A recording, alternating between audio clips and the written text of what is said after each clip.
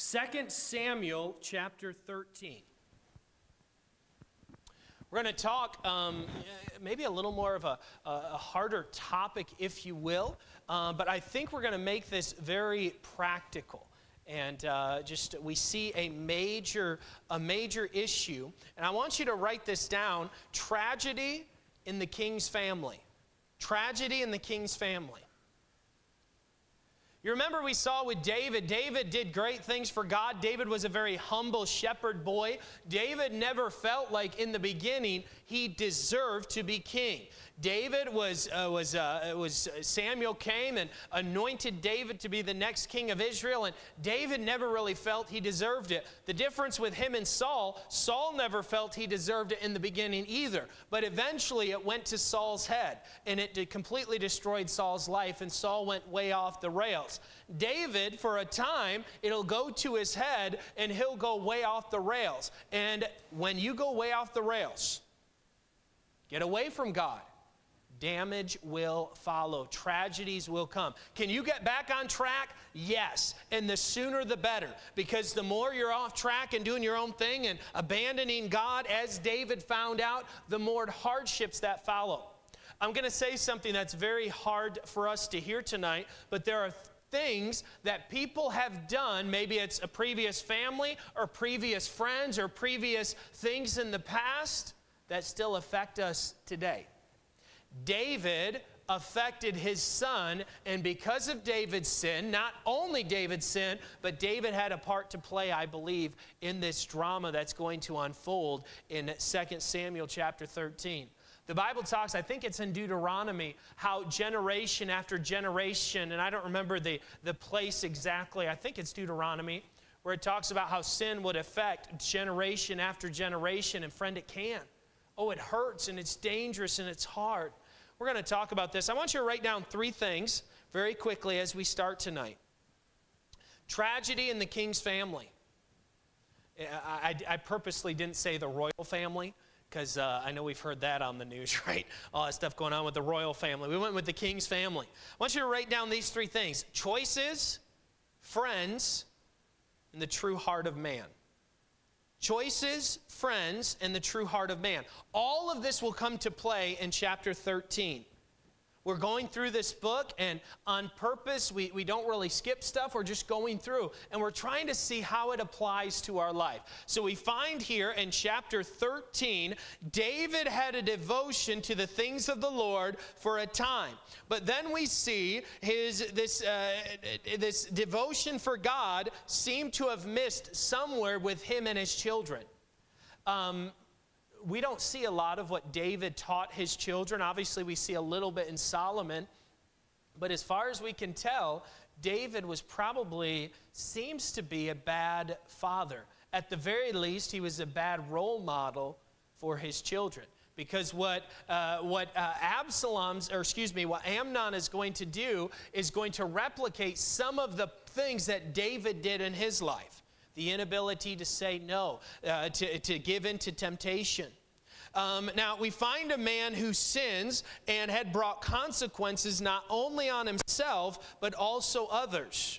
Friend, listen very closely. Your sin will not just affect you, there will always be others.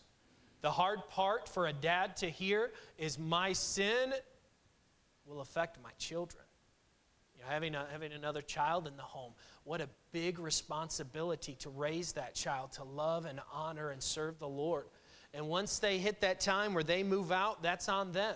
They get to do, I hope I can instill in them a love for the God, and I hope they can see a life that I've lived in such a way where they could honor God uh, by watching that. That's my prayer. It's not always what I do, but that's my prayer. Now, let's pick up in verse 1 here choices, friends, the heart of man, okay? And it came to pass after this that Absalom, the son of David, had a fair sister. It's the idea of a very beautiful sister whose name was Tamar. That's how we pronounce it. It was probably more pronounced Tamar, but we'll go with Tamar because that's how we, that's how I think, at least that's how I grew up saying it. So maybe you said it the right way all along. I don't know. But we'll go with Tamar tonight. And Amnon, the son of David, what? Loved her.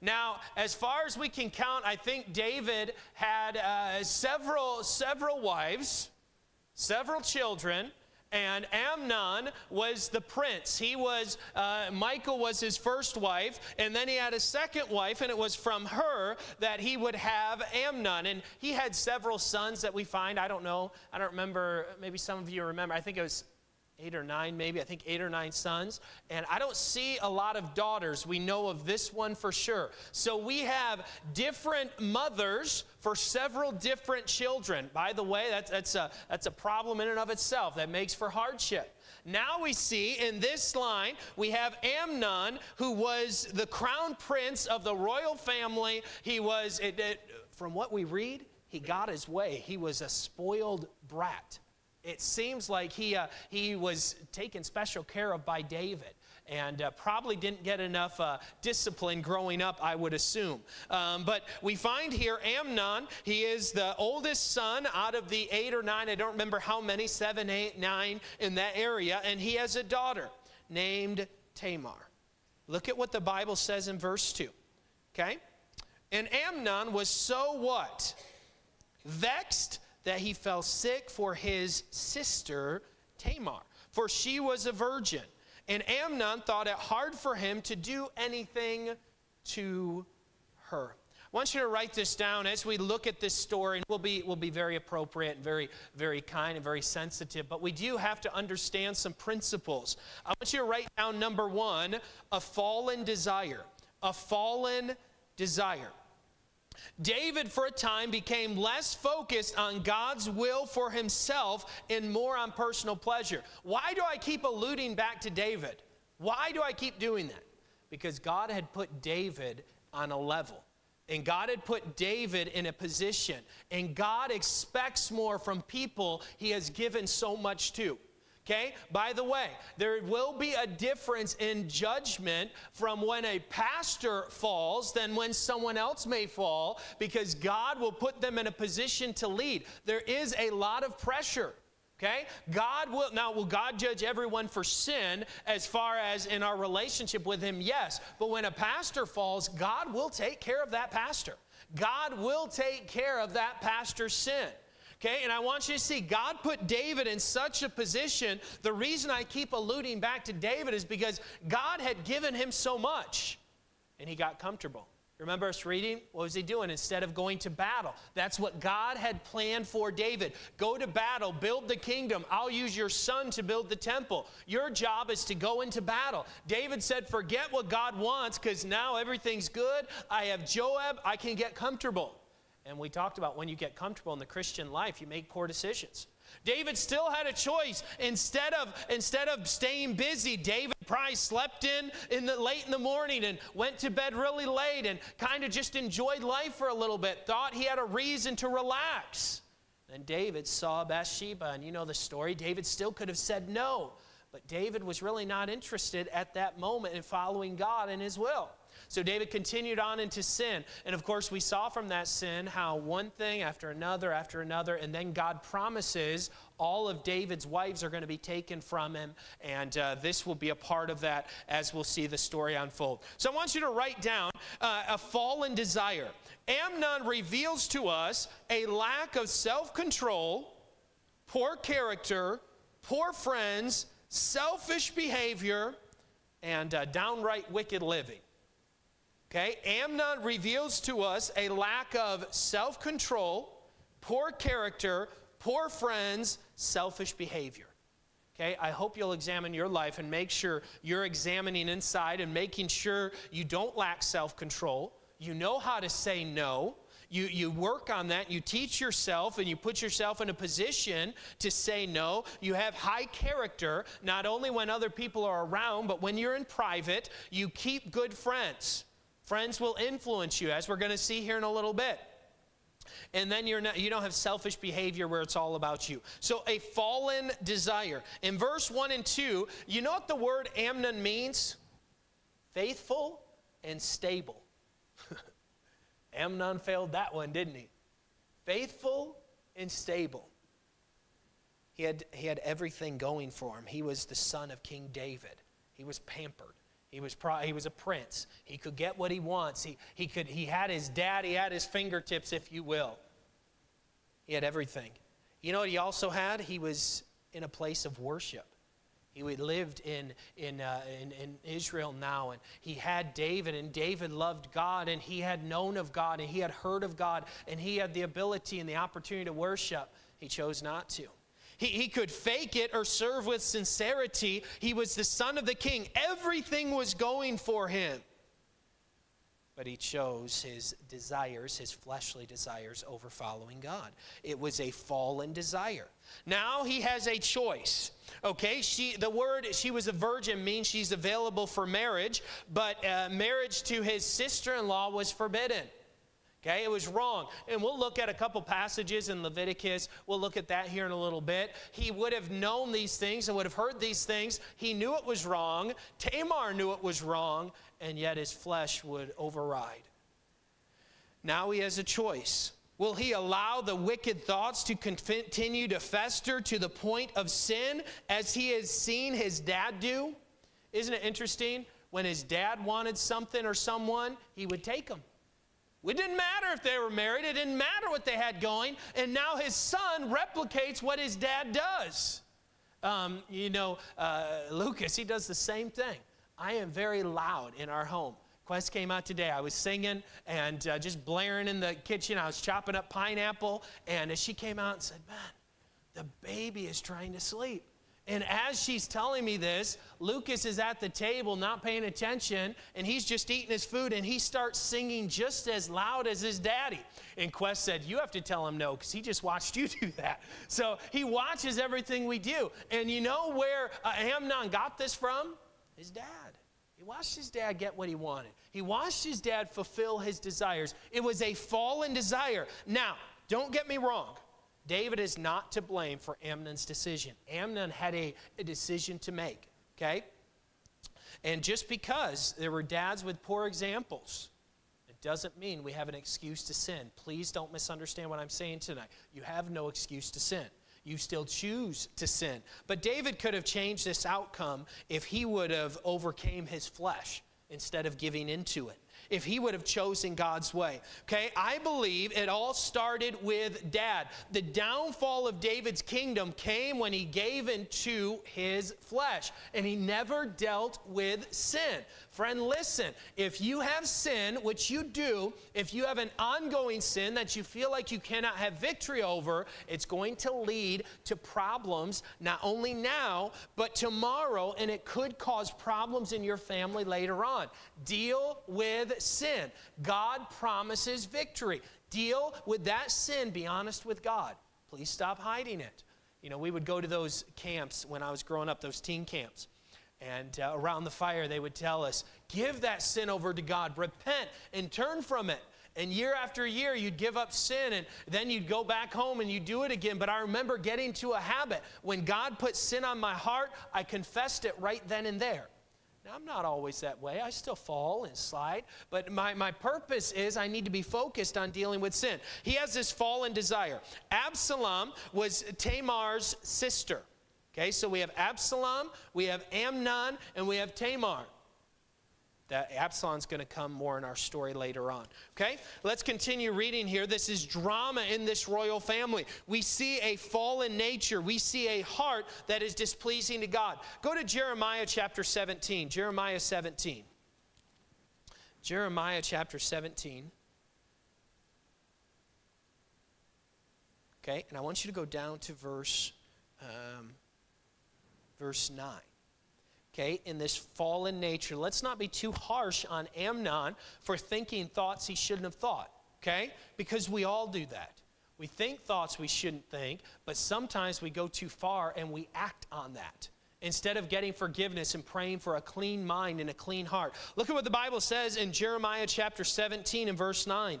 The heart is deceitful above all things and desperately wicked. Who can know it? And then God says, I, the Lord, search the heart. I try the reins, even to give every man according to his ways and according to the fruit of his doings. Go back to verse 7. Blessed is the man that trusteth in the Lord and whose hope the Lord is. When Amnon is thinking these things in this fallen nature, was he being blessed by God? No. He was following his fallen nature, his fallen flesh. He became so sick to himself that eventually he said, Nothing's going to stand in my way to get what I want. Because he dwelled on it and he thought on it, he was trying to plot how he was going to do it. It made him sick to his stomach to commit this sin. He desired it so badly. Friend, that's what can happen when we dwell on sin, when we don't recognize that my heart is deceitful. And when I continually think on these things I have no business thinking of, and dwelling on that hurt and that pain, it just builds up. That's why we have to deal with that with the Lord. Okay? Now, he became so sick. I love this quote, and I don't remember who wrote it. We must take our emotions, thoughts, desires, and worries and lay them at the feet of Jesus, asking him to guide our steps. Go to Proverbs chapter 25. Proverbs 25, would you? Very quickly tonight. Proverbs 25.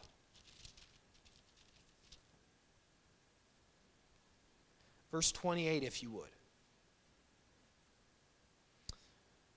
Okay? The Bible says this He that hath no rule over his own spirit is like a city that is broken down and without walls.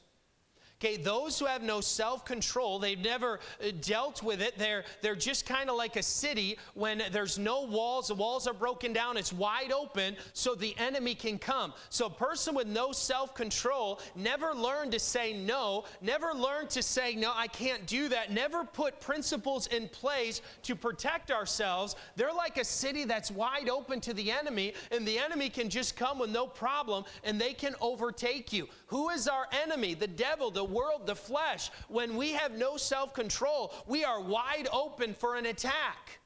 Friend, we've got to learn. We've got to learn this is our fallen nature. I want you to see number two a terrible friend. A terrible friend. Look at verse three. Okay, so he's going through this. He had poor friendship now. Look at verse three. But Amnon had a what? Whose name was Jonadab, the son of Shimeah, David's brother. And Jonadab was a what? A very subtle man. Okay, this man, um, this man was known as a little mischievous, a little deceitful, if you will. This, uh, a good friend is a friend who tells the truth at times, even if it hurts. Amen? We need some good friends in the church who will be honest with us and love us through it. But man, I want people who at times they'll just be straight up with me. They'll just be honest with me. They'll just shoot straight about it instead of, uh, you know, pampering. So uh, Amnon knew what he was doing was wrong. So look at what he says in verse 4. His friend was with him, and this is what his friend said. By the way, this is why it's important to have good friends.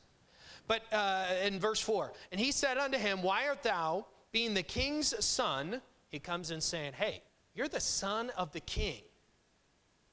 Lean from day to day. Wilt thou not tell me? So his friend came, as a good friend does. A friend can tell when you're having a bad day, right? A good friend can tell when you're going through a hard time. So we ask him, and Amnon said unto him, I love Tamar, my brother Absalom's sister. So his friend comes in and says, Man, you've been down lately. You're struggling. Why do you feel that you're the king's son? You can have whatever you want. His friend knew he was pampered. Okay, so what does he say? Man, I have a desire it's a bad desire and it's wicked and it's against the book of Leviticus. It's wrong. But I have this desire.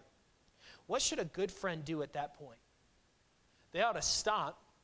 They ought, if someone is truly seeking advice, by the way, that's a big if because a lot of people don't care about what you have to say. But a good friend is going to stop and say, hold on a minute. What does God say about it? Let's you and me together study what God says about it. That'd be a good friend. But instead, we have a carnal man. Instead, um, sometimes, uh, let me, everybody listen to this for a quick moment. Uh, sometimes we try to coddle people who the Holy Spirit is trying to convict. Christians are very good at this. Sometimes somebody comes to us and they say, I know what I'm doing is wrong and I know I shouldn't be doing this, but man, I, I just, I'm struggling. And good Christian people come along, hey, you just do your best and you just leave the rest up to God. You just do the best. Now, I, I know sometimes we mean well, but sometimes the Holy Spirit is trying to convict them and say, hey, you've got to quit going down this road. And we as Christians just say, it's okay, it'll all be better soon. Just go. No. We need to say, well, what is God telling you? What does the Bible say about that? Would be a good friend, right? That's not what his friend said. This was a carnal man. He was known for being sneaky. He always had an edge. This is the person who can masquerade and maybe even tell you and act like they're helping you. That was not this person. He was a terrible friend. So, what does he tell him to do? Look at verse 5. Okay? A friend's advice can get you in a lot of trouble. That's why I have some really good ones. And by the way, have a few people in your life that you trust that are godly people who you would go to and actually accept their advice. I'll listen to anybody. If you have something, I'll listen to it and I'll probably go along with it. I'll listen to anybody. But there's four or five people, if they came to me and they really told me, I would, I would stop what I was doing and we would really dig into it. There's four or five people that have a major influence in my life to the point where I would say, you know what, if, if you're telling me this, my dad is one of them. My dad's a very godly man. If my dad came to me and sat down with me, I would, I would go, you know, I'd really, really consider that. If Pastor Wilkerson, my former pastor, if he came to me, there are certain men in my life who I have given permission. If they came to me and saw I was going down the wrong road, if they said something, I would snap to attention. Man, I would be all over that because I want good friends to influence me. And there are certain people I, I don't want to influence me, right? That's why I love having a church full of godly, spiritual people who truly love the Lord. And those are the people I want to influence me. Not the ones who are always upset about people, not the ones who are always, I want people who love God with all of their heart. And those are the type of people I want to be around. That's why I love coming to church. I love being around godly people. I love being around people who love the book the way I love the book, who, if the book said it, they would change. Those are the type of people I want to be around. That was not Jonadab, okay? Be careful about the type of friends. What does Jonadab say in verse 5? Very quickly. Jonadab said unto him, Lay thee down on thy bed, make thyself sick. And when thy father cometh to see thee, oh, daddy's going to come and check on you. This was an adult son. When thy father cometh to see thee, say unto him, I pray thee, let my sister Tamar come and give me meat, dress the meat in my sight, that I may see it and eat it at her hand. Don't just bring a dinner and drop it off. This was deceit. This was lying. This was wicked. This was wrong. Be careful of the friends you keep. Relationships either add to or take away from our lifestyles for the Lord. I want friends who point me back to the Lord Jesus Christ. Biblical friendship is one that encourages biblical growth and is filled with love. Examine your life to see if you have some unhealthy relationships. There may be some people that maybe you don't, you know, just say, you know, I'm not, I'm not going to talk to you anymore, but you may need to just establish in your mind, these people are not going the same way I'm going. I'm going to be careful how much I, how much I give them uh, oh, to oversee my life. What is a good friend? A good friend encourages us to do right. Okay, I have several scriptures. We're not going to go to these tonight. A good friend encourages us to do right.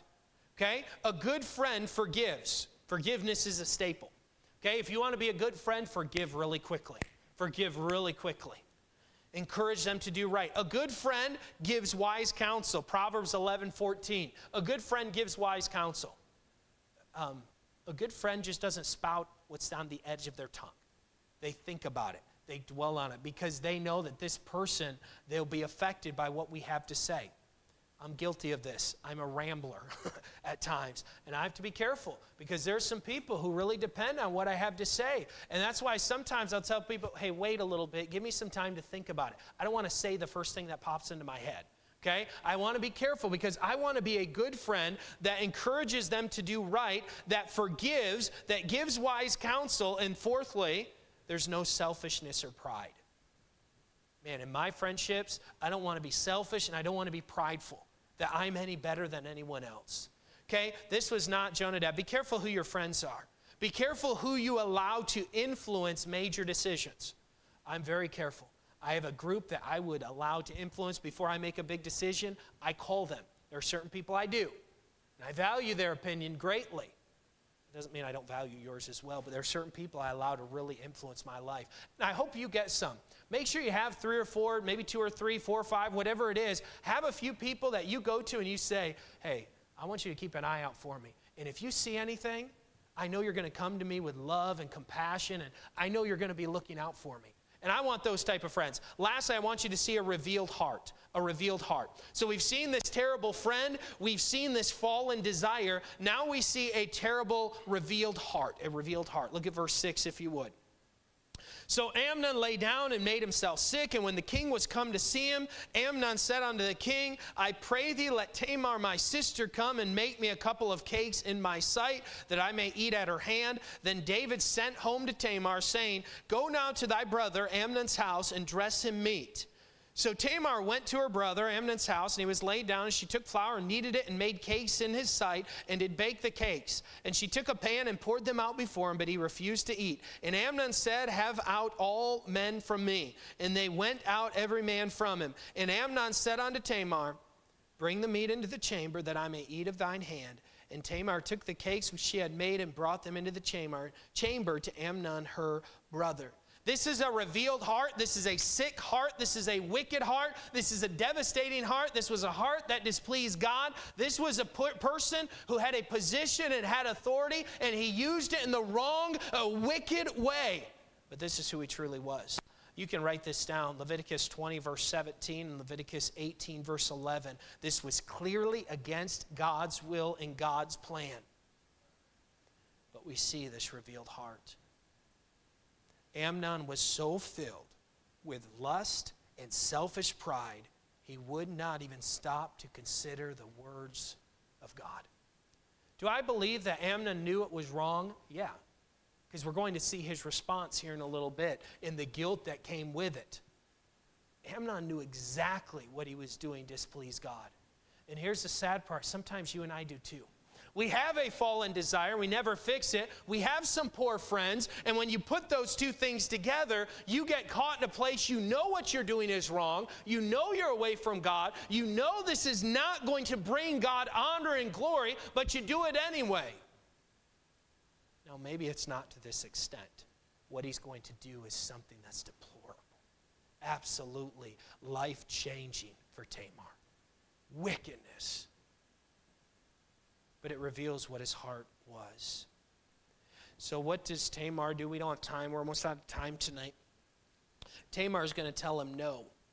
She's going to tell him the results of this. There'll be no way to hide it. It'll be out there. There'll be shame. There'll be guilt.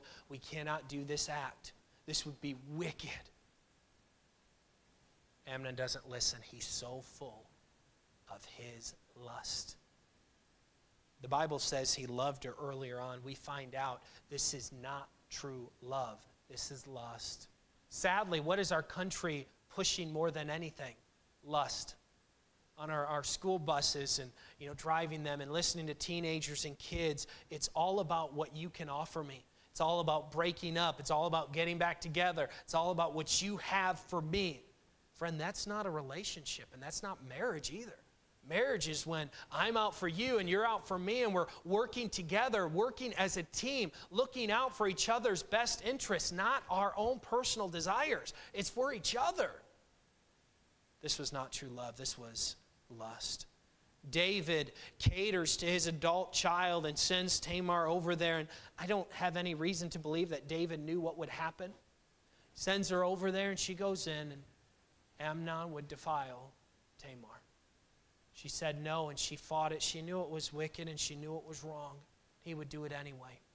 You see, if David would have been a better father, if David would have not treated his children a different way because he felt guilty for the past, so he would coddle them and he would give in to their fleshly desires, if David would have been a better role model, he could have, I believe, prevented this sin from happening. Now, I'm not saying that Amnon didn't have a choice, but I'm saying Amnon did exactly what he had watched his leadership do this whole time.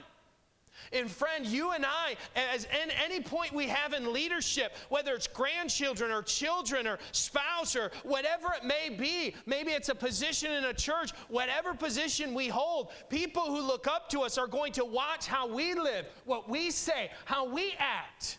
It's just going to be part of their life. That's what we find happened here. Please don't misunderstand. I'm not blaming Amnon's sin on David. Amnon had a choice. What I am saying is David could have definitely helped that situation had he made some better decisions. Amen?